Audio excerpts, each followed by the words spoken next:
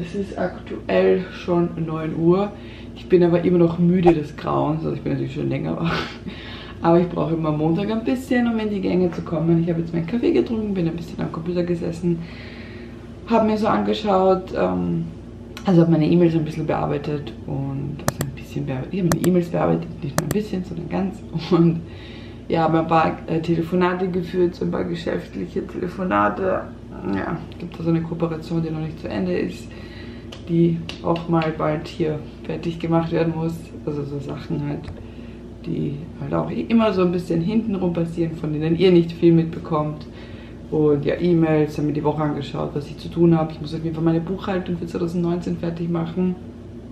Man hat ja immer, also das, man hat ja immer Zeit. Also ich habe immer bis Oktober oder so Zeit, die Buchhaltung abzugeben. Möchte sie aber fertig machen. Und ich muss auch die Steuererklärung von Papa machen, die mache nämlich immer ich.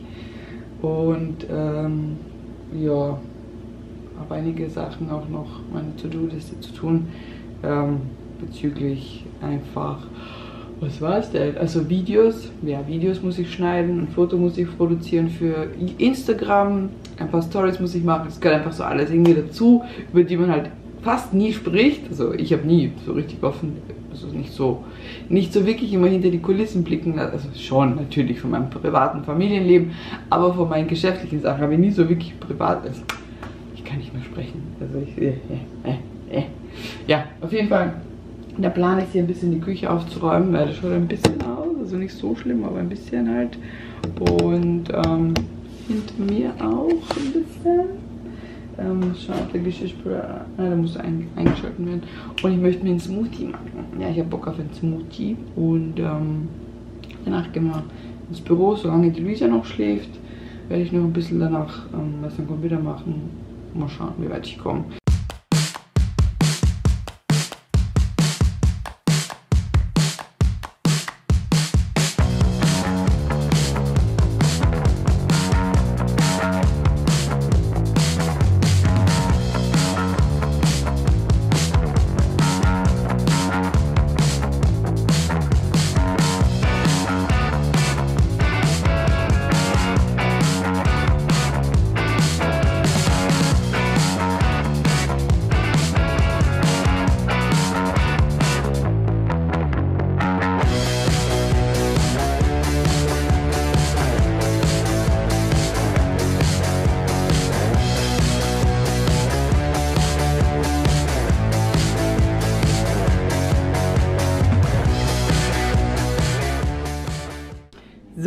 Küche habe ich jetzt einigermaßen aufgeräumt, außer diesen Teil hier, weil das hat hier nicht mehr reingepasst. Deswegen habe ich mal dort hier gestapelt.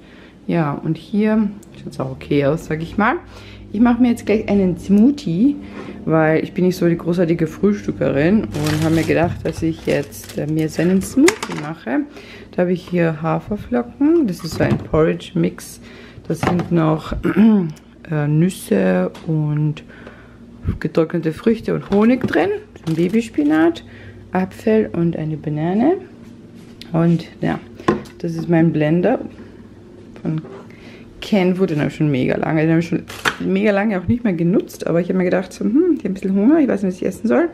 Und sowas kann ich gut essen, weil es muss ich ja nur trinken. Ich bin ja nicht so eine großartige Esserin. Ja, da kommt jetzt die Banane rein.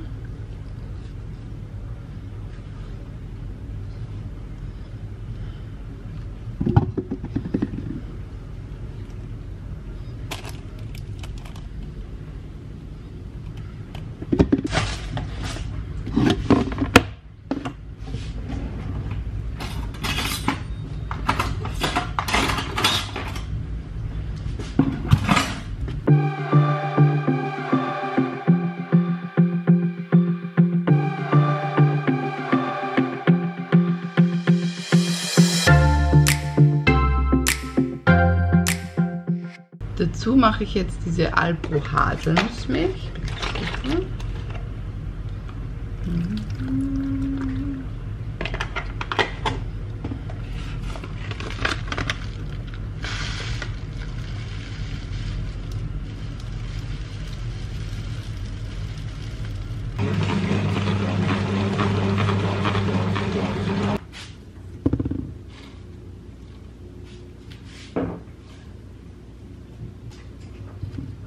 Sophie.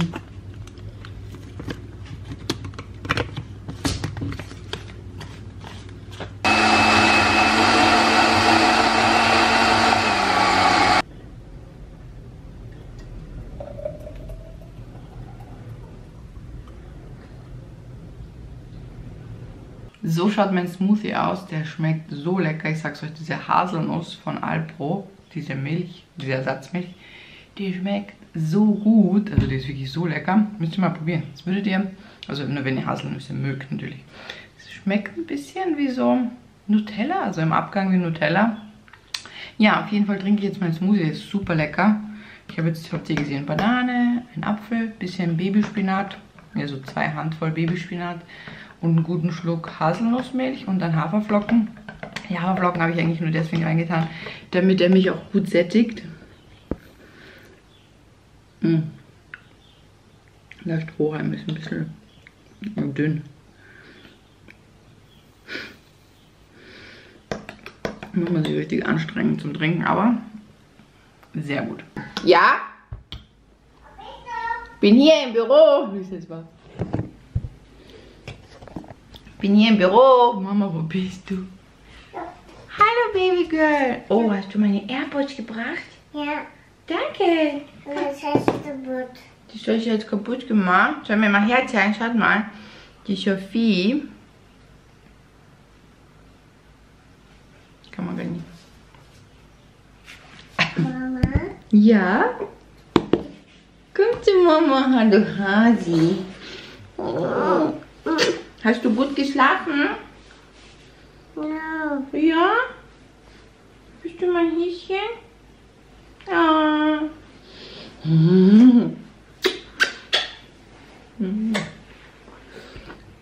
Magst du hier mal probieren? Lecker. Probier mal.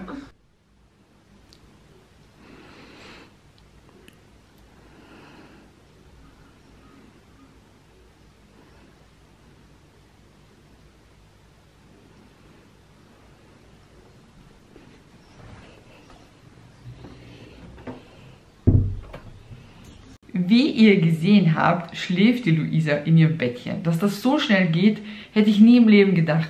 Ich habe ähm, seit dem letzten Mal, wo ich gevloggt habe, mich eigentlich jetzt ausschließlich schnell um dieses äh, Zimmer gekümmert, beziehungsweise mehr ums Bett. Das ist nämlich im Zuge einer Kooperation, da musste ich ein Foto davon machen und so weiter. Deswegen habe ich mich darum gekümmert, dass ich das äh, beziehe. Ich habe eine neue, wir haben, wir haben eine neue Matratze gekauft ähm, und äh, ich habe die jetzt gleich heute bezogen neu mit der frischen Bettwäsche und äh, gleich alles hingeräumt. Und ja, das war eigentlich mein äh, Beschäftigungsprogramm für danach. Und ja, dann habe ich die Mädels geholt und wir haben noch was gegessen ganz schnell. Und ja, dann war ich schon Nachmittag. Ich meine, ich bin ja gespannt, wie das funktioniert. Ja, sie hat ja ein bisschen so im Bett gespielt nach dem Mittagessen. Hat sie ein Buch da drin gelesen ist die ganze Zeit herumgehopst da. Und ähm, ja, ich bin auf jeden Fall sehr, sehr gespannt, ob es am Abend auch so funktioniert, ob ich sie denn wirklich schon abnabeln werde, ob ich das kann. Sie ist ja noch immer ein kleines Baby. Für mich ist sie immer noch die kleine Luise, ich kann sie nicht fassen. Ja, ähm, aber ich stille die Luise halt noch und ähm, ja, es ist ja halt natürlich mein Wunsch, sie bald abzustillen, aber hm, das ist nicht so einfach. Das Langzeitstillen war von mir nie so geplant. Ähm, es ist gekommen, wie es gekommen ist. Ich finde, es stört mich jetzt nicht, aber es ist natürlich ähm, nicht so ohne das Langzeitstillen. Ich kann dazu gerne mal ein eigenes Video machen für die Leute, die das eventuell interessiert. Ähm, weil ich glaube, dass es auch ziemlich spannend sein kann. Eventuell für andere mehr, für andere weniger. Aber grundsätzlich, ja, das Langzeitstillen, das war ja wie gesagt nie so geplant von mir. Es hat sich irgendwie so reingefuchst und ähm, jetzt ist die Luisa schon fast zweieinhalb und ich stille sie immer noch.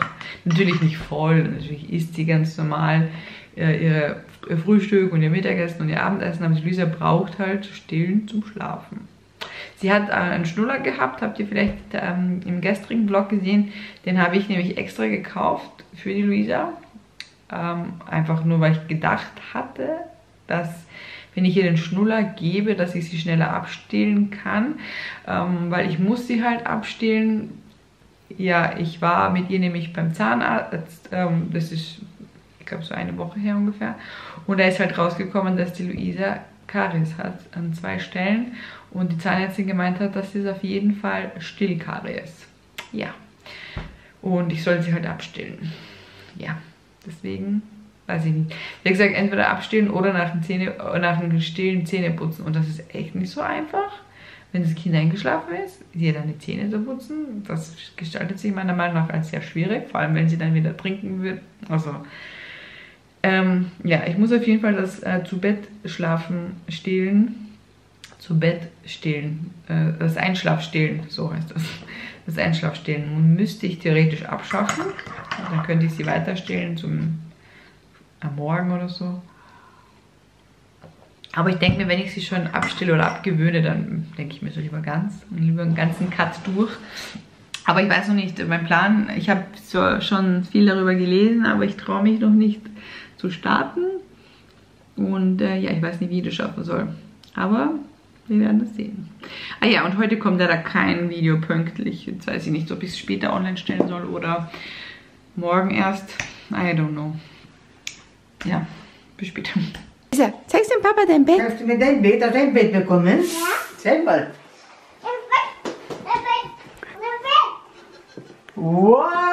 Wow! Das schaut aber cool aus. Schaust, bist du im La Luisas Bett gesessen, Lara? Warum ist denn Na, die Switch so dort? so würde ich auch schlafen. Die Sophie ist ja Platz. Papa, schau, sie zeigt dir ein Kunststück. Zeig mal. Wow! Sehr gut. Hast du dir wehgetan, Lara? Wer hat denn hier jetzt gespielt? Das. Und wer hat Nintendo gespielt? Na, tut es wem aus? Ah, er wusste es. Lara, tut das für jetzt? Schau mal, ist das nicht schön? Sehr schön gekommen. Sie will auch hier schlafen heute. Darf der Papa hier schlafen? Darf der Papa in deinem Bett schlafen? Ja. Nicht? Dann schläfst du in dein Bett, bitte. Hättest wohl gern, Papa. Mit Mama kuscheln ist auch noch immer sch- Ja, ich will auch ein bisschen Platz im Bett haben. Tja. Dann kommst du, dann kommt der Pip, dann kommt diese, dann kommt die Mama auch noch. Ah, und die Mama ist ich die... schlafe auf der Kommode. Oh, du Armer. Luisa, nicht ins Ohr stecken. Was spielst du denn da, Lara, auf der Switch? Mario Party. Mario Party. Voll cool. Schau, die kuscheln jetzt alle hier. Ich hab's gewusst, die Lara sitzt auch hier. Glaube ich schon ich heute. Heute, au. mm. Von mir kam heute nicht besonders viel. Video schneiden, Video schneiden. Papa, ich will mit dir das spielen. Mario Party. Woher hat die Sophie denn dieses Brot schon wieder, Papa? Hast du ihr das gegeben? So, meine Lieben, ich bin jetzt im Badezimmer. Ihr hört vielleicht die Wanne. Ich werde mir jetzt nämlich ein gemütliches Bad gönnen. Ich habe mir auch so eine Badebombe geholt von Lush und ich habe extrem, also die, ähm, heißt, die Blasenentzündung ist gestern am Abend besser geworden und jetzt wieder schlechter. Und äh, ich war heute nicht beim Arzt und das ärgert mich so über mich selber. Ja, aber ich hoffe, dass das, ja, und ich war auch nicht einen Nierentee oder Blasentee oder sonst irgendwas kaufen. Nö, ich habe heute einfach gearbeitet, aufgeräumt, hergeräumt, hingeräumt und wieder gearbeitet. Und ja, gegessen und meine Kinder umsorgt natürlich und sonst alles mögliche am Haushalt gemacht. Ähm, deswegen gönne ich mir jetzt ein Bad. Ich hoffe, dass es besser wird. Wenn nicht, muss ich morgen wirklich zum Arzt oder zumindest zur Apotheke mir was holen. Und ja, jetzt mal hier schön baden. Let's go! Oh mein Gott, so schön, oder? Ja. Und ich werde mich jetzt aber vom Vlog verabschieden. Ähm, werde ein genüssliches Bad nehmen und dann den Tag ausklingen lassen. Der Papa kümmert sich derweil um die Kinder. Und ja, gute Nacht, mein Lieben. Wir sehen uns dann morgen wieder. Tschüss.